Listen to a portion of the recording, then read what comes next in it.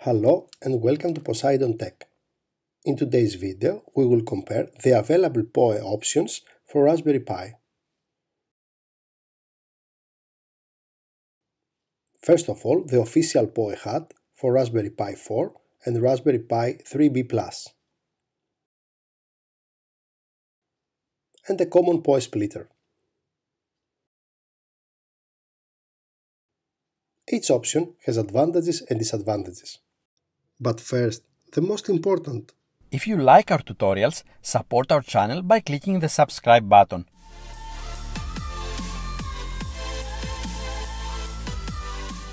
Like and share our videos.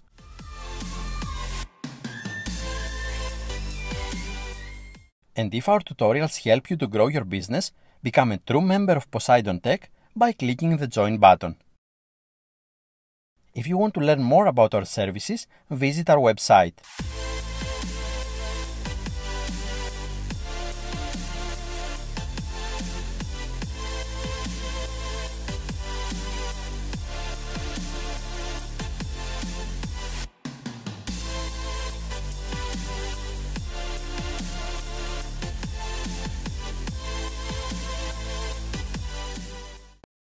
We will use the PoE hat on Raspberry Pi 4 and the PoE splitter in the Raspberry Pi 3 since PoE hat works only on Raspberry Pi 3B Plus and newer versions. Let's unbox the PoE hat. Some screws are included as well apart from the actual hat.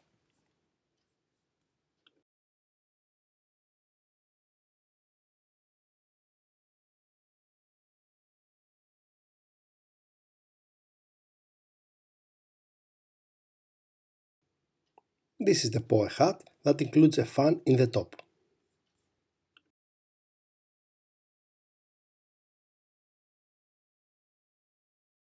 In order to install the PoE hat, we need to remove the Raspberry Pi from the case.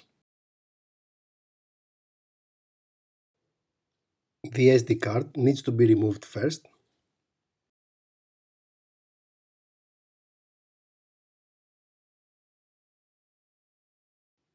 and now it's time to install the spacers on the Raspberry Pi. Four spacers, one on each corner.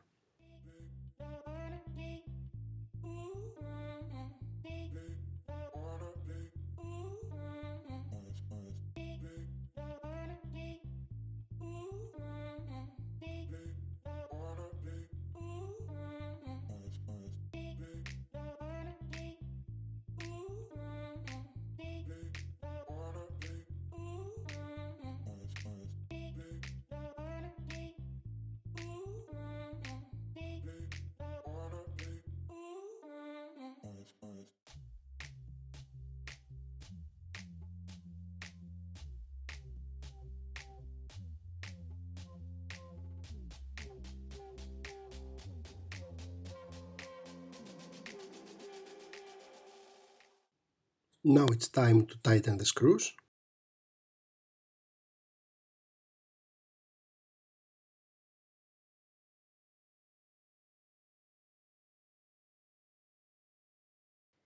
and install the actual hat.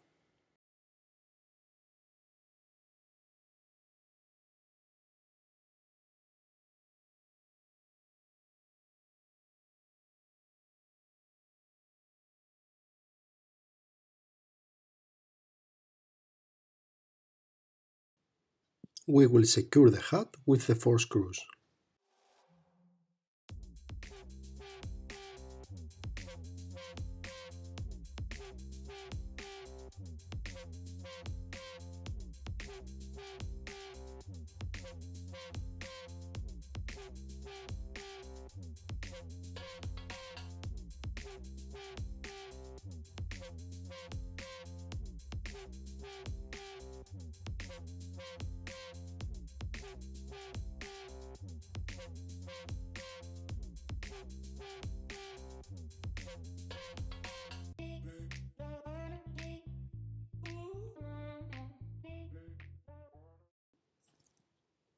and of course tightening the screws.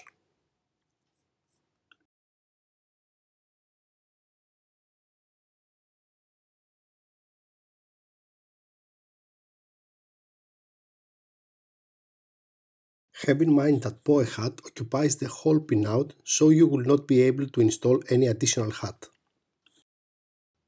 Since we have installed these four screws with the spacer in the bottom of the Raspberry Pi, the official case cannot be used, so you need to search for an alternative.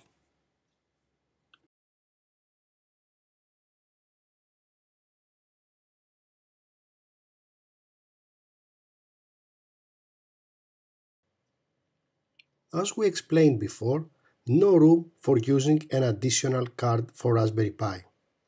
More details about this KNX K-Berry card in the upcoming videos. Finally, we put back the SD card.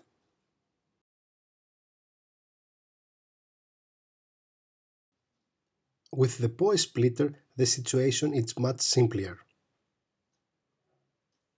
As you can see, we can use an additional card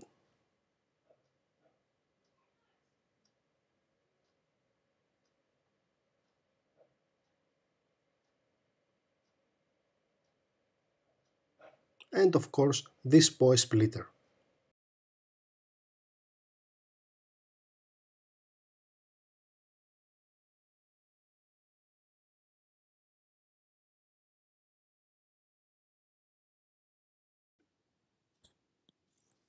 Now it's time to connect both of these PoE options to a PoE capable switch.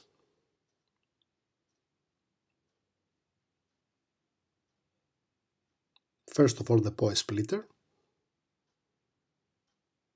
As you can see the Raspberry Pi booted up.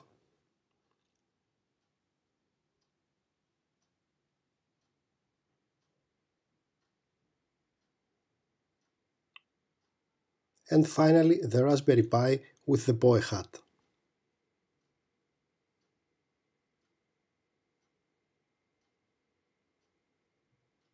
Both options works fine. In the case of the PoE splitter, we have the additional card connected to the Raspberry Pi and we power up the device using PoE. In the case of PoE hat, we cannot connect any additional card to the pinout of the Raspberry Pi.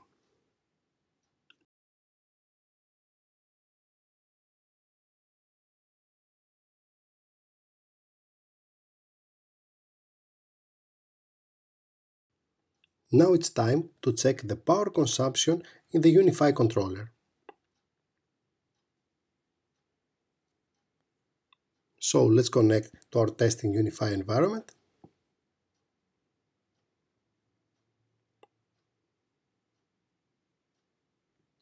And let's go to the PoE switch.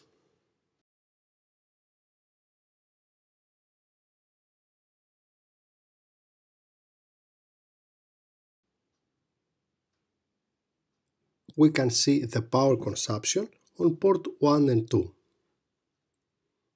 The biggest advantage of using PoE is that you can restart Raspberry Pi through UniFi controller.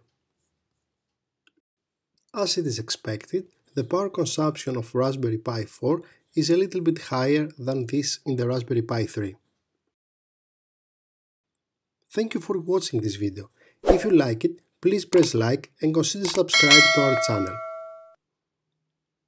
See you in the next video.